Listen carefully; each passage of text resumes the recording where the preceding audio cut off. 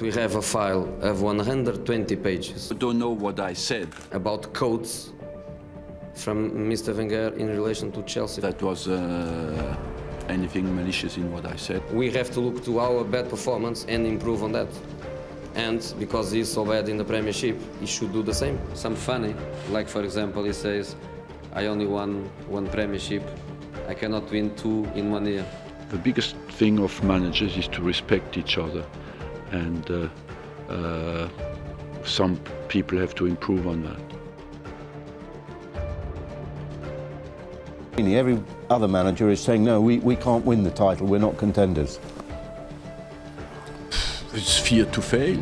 He is a specialist in failure. I'm embarrassed for him, honestly. Do you wish that maybe you hadn't said it? Next question, please. We as a club, we will show Mr. Wenger the respect that he deserves. Arsene Wenger faces Jose Mourinho's Manchester United for one final time. It will be business as usual for Mourinho, but for Wenger, this one is personal.